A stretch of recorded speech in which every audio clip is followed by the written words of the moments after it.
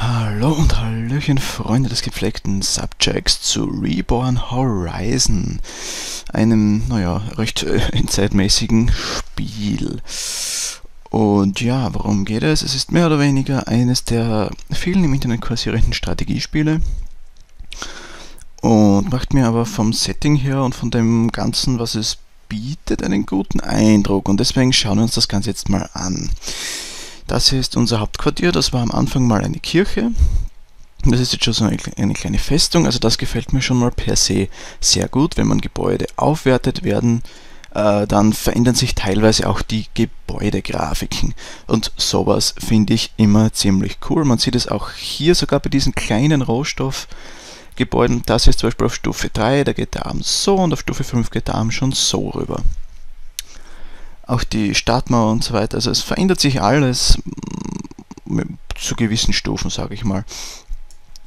Dann gibt es natürlich viel, ja, eigentlich vier, eigentlich fünf Rohstoffe, nämlich Schrott, Stein, äh, Nahrung, Energie und unsere Bevölkerung, wobei letztere eigentlich nur für die Einheitenproduktion gedacht ist. Na gut, Nahrung eigentlich großteils auch. Wie kommen wir zu den Rohstoffen? Mit diesen Dingen hier. Der Schrottplatz liefert. Schrott ist auch hier mal schön aufgelistet, wie viel es das Lager erhöht, wie viel es produziert. Also das hier ist äh, das Trümmerfeld für Schrott, der Steinbruch für den Stein, das Gewächshaus für die Nahrung und das Kraftwerk für den Strom. Und hier, das sind hier die Wohnhäuser für die Bevölkerung. Und was machen wir mit diesen ganzen Rohstoffen?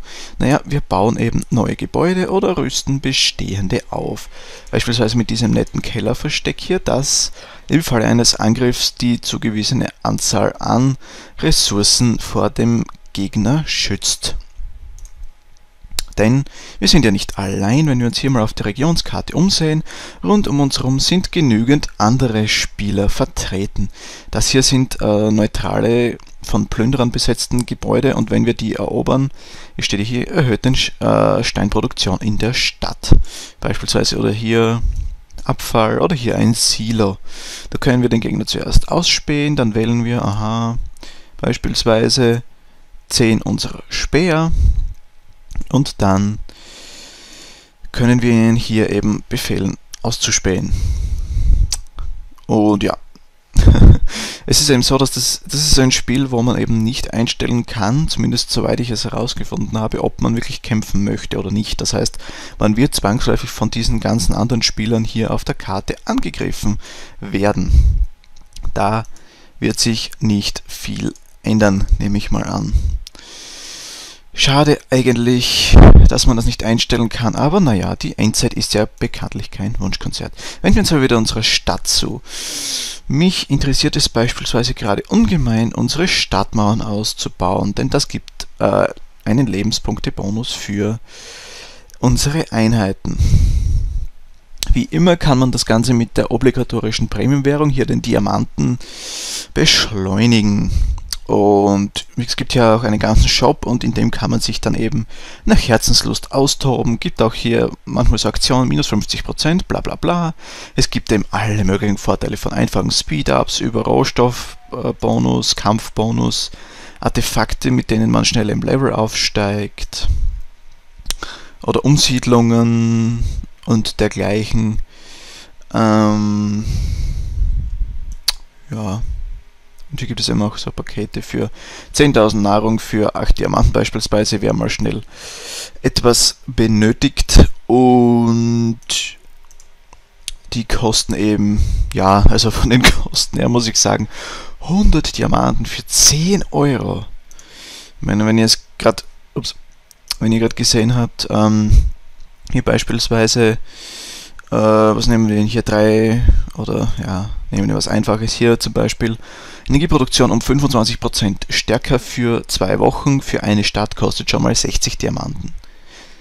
Ist jetzt nicht gerade das billigste, aber muss ich sagen, finde ich in dem Sinn auch gerechtfertigt, denn die Vorteile für die, die wirklich Geld investieren, sind schon ja nicht zu verachten. Also ein Spieler ganz ohne im Vergleich zu einem, der da wirklich so 10, 20 Euro rein investiert hat, ich sag mal so, das geht meistens zugunsten vom investiere aus. Aber naja gut, das ist bei diesen Spielen auch, naja, eigentlich immer so üblich.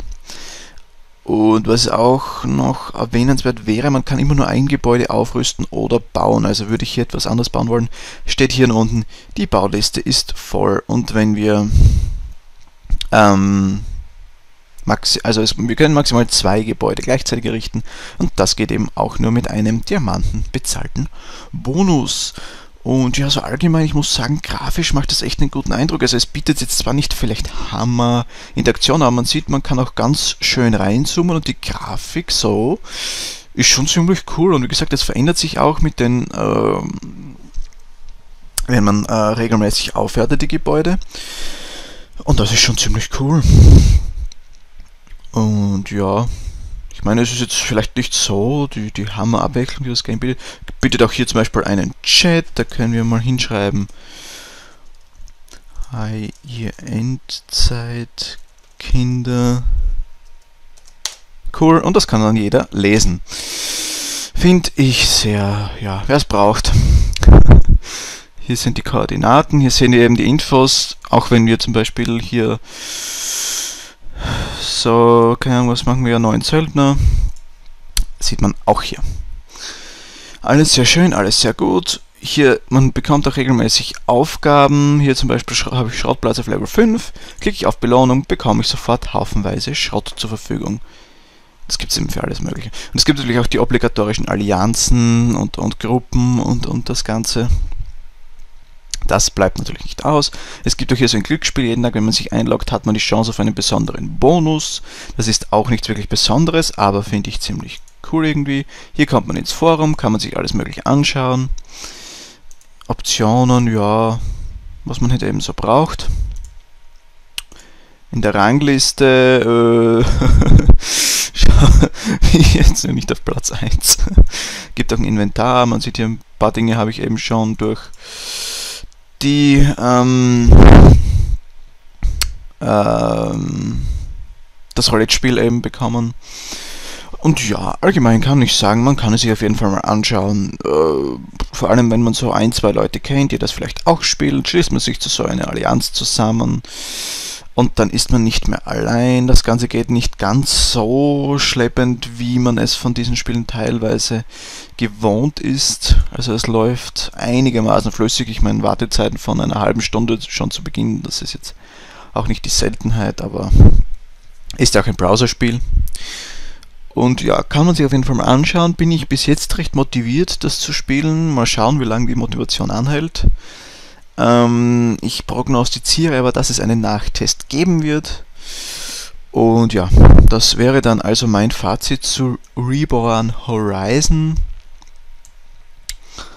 Und falls ich irgendwas übersehen habe oder so, ihr wisst es, ihr kennt das Konzept, ja, ich habe es gerade mal drei Tage gespielt. Ich kann noch nicht hammer viel sagen. Aber bis jetzt kann ich sagen, man kann es sich mal anschauen, man macht jetzt nicht viel verkehrt, wenn man es spielt. Und mit diesen erheiterten Worten sage ich dann auch schon für diesen Subject Tschüss, Arrivederci und Goodbye.